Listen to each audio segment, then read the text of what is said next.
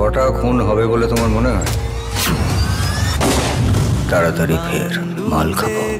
বন্ধুত্ব যে আমাকে বাসবে ভালো আর আকাশেই প্রতিশোধ ক্রাইম থ্রিলারের কলুক ধাঁধা খুনি ও পুলিশের টক্করে শেষ হাসি হাসবে কে? আমি মুদির দোকান চালাই না ঠিক সময় গুলি চালাই। সানরাইজ প্রেজেন্স টেলিভিশনে প্রথমবার দশম অবতার বিউটি পার্টনার ড্যাজলা আগামীকাল দুপুর একটায়। স্টার জলসায়।